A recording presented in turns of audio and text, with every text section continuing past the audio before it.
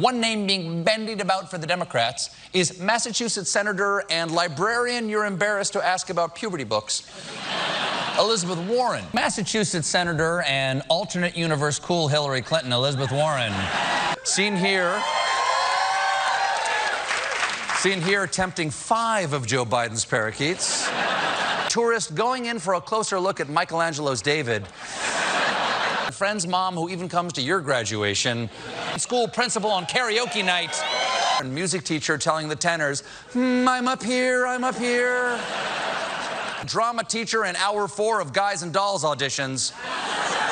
Massachusetts Senator and ravenous baby cannibal Elizabeth Warren.